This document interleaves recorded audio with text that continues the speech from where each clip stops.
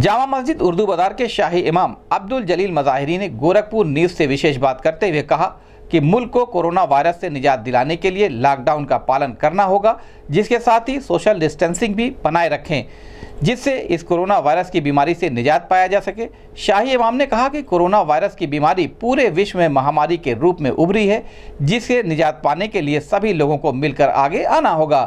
شاہی امام نے کہا کہ باہر سے آنے والے ویکتیوں کی جانکاری ضلع پرشاسن کو اوشیہ کرا دیں، جس سے کہ ان کا سموچت علاج ہو سکے اور آس پاس کے چھیتر سہت گھروں اور پریواروں کے لوگ بھی سرکشت رہ سکیں۔ انہوں نے کہا کہ مسجدوں میں نماز پڑھنے سے سوشل ڈسٹنسنگ کا پالن نہیں ہو پا رہا ہے، اس لیے اپنے گھروں کے بھیتر ہی نماز ادا کریں۔ اس سے اتنا ہی ثواب ملے گا جتنا کہ مسجدوں میں نماز ادا کرنے سے ملتا ہے۔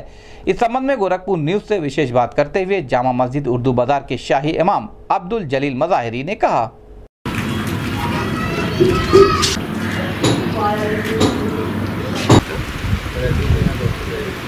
پانچ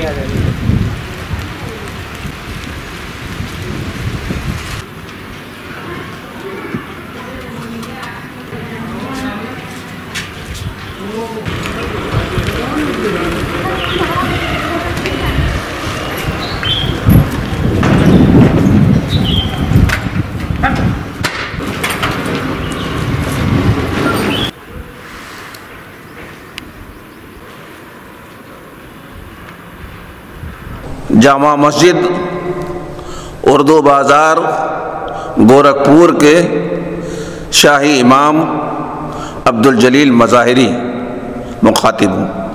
میں اس وقت آپ حضرات سے مخاطب ہوں۔ کرونا وائرس جو پوری دنیا میں ایک وبا کی شکل میں پھیلا ہوا ہے۔ اس وبا کی شکل میں پھیلی ہوئی بیماری جو انتہائی خطرناک اور مہلک بھی ہے، اس سے نپٹنے کے لیے اور اس سے بچنے کے لیے اور اپنی حفاظت کے لیے ہم کو کیا کرنا ہے؟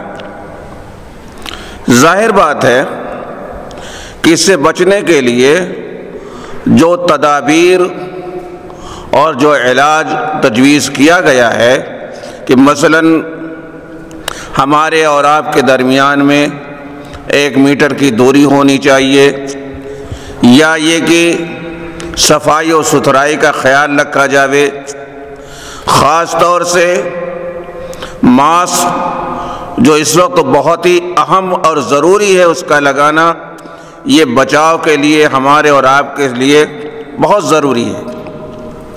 تو میں عوام سے اس وقت یہی کہنا چاہوں گا کہ اس کے لیے ہم کو بھی اور آپ کو بھی بچنے کے لیے ماسک لگائیں اور ایک دوسرے سے دوری بنائی رکھ، بنائے رکھیں۔ یہی اس کا علاج ہے۔ البتہ اگر ہمارے اور آپ کے درمیان میں کوئی کہیں سے باہر سے آ گیا ہے، ظاہر بات ہے کہ باہر سے آیا ہوا آدمی وہ کیا لے کر کے آیا ہے اپنے جسم کے اندر؟ اگر اس کے اندر یہ چیز شک شبہ کے دائرے میں پائی جاتی ہے، تو اس سے بہتر یہ ہے کہ اس کو بھی الگ رکھا جاوے، یہ بھی ایک بچاؤ کی شکل ہے۔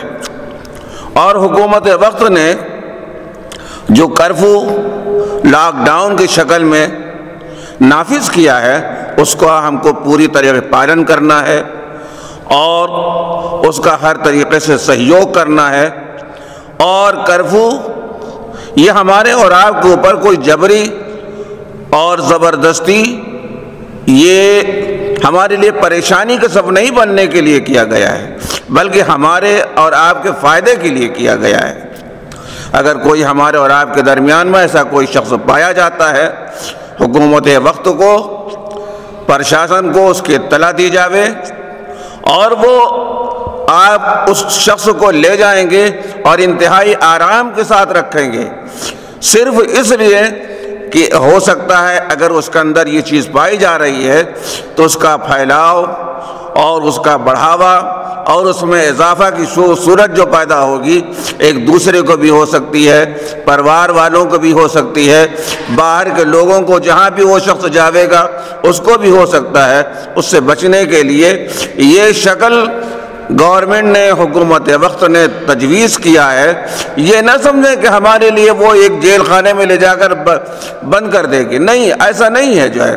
بلکہ وہ ہماری اور آپ کی حفاظت اور اس کے پاس رہنے والوں کی بھی حفاظت کے لیے ایسا قدم اٹھا رہی ہے جو عبادت گاہیں خواہ وہ مسجد ہو یا مندر ہو یا گرجا گھر ہو، دنیا میں بسنے والے مختلف قسم کے لوگ ہیں اور ہر شخص کا پوجا الگ الگ اپنے اپنے انداز سے ہوتا ہے۔ ظاہر بات ہے کہ مسلمان مسجد میں جاتا ہے عبادت کرنے کے لیے اور اگر وہ مسجد میں جاتا ہے بھیڑ کی شکل اختیار کر جاتی ہے، جیسا کہ نماز میں ہوتا بھی ہے کہ جماعت کے ساتھ نماز پڑھی جاتی ہے، اس میں بھاری تعداد میں لوگ ہوتے ہیں۔ تو یہ چیز جو ہے، اس کرونا وائرس کے لیے جو ہے بچنے کے لیے جس سے جو کہا گیا اختیار کیا گیا ہے، اس سے ہم بہت دور چلے جائیں گے۔ اس لیے ضروری ہے کہ مسجدوں میں نماز نہ پڑھ کر کے اپنے گھروں میں نماز پڑھیں گے تو زیادہ جلد سے جلد ہمارے لیے فائدہ ثابت ہوگا۔ جو ہے، اگر آپ یہ سوچتے ہیں کہ ہم کو مسجدوں سے منع کیا جا رہا نماز پڑھنے کے لیے، ایسا نہیں ہے۔ اللہ تعالیٰ جو ہے، نیت کو دیکھتا ہے۔ آپ نے کے دل کو دیکھتا ہے، جو ہے۔ آپ مسجد میں نماز اگر کسی مجبوری کی وجہ سے نہیں پڑھیں گے اور حکومت وقت کا حکم کا پالن کریں گے اور اپنے گھروں میں نماز پڑھیں گے، اس سے بچنے کے لیے تو یہ بھی ایک خاص قسم کی عبادت ہے کہ ہم اپنی حفاظت کریں گے اور دوسروں کے لیے بھی حفاظت کا ذریعہ بنیں گے۔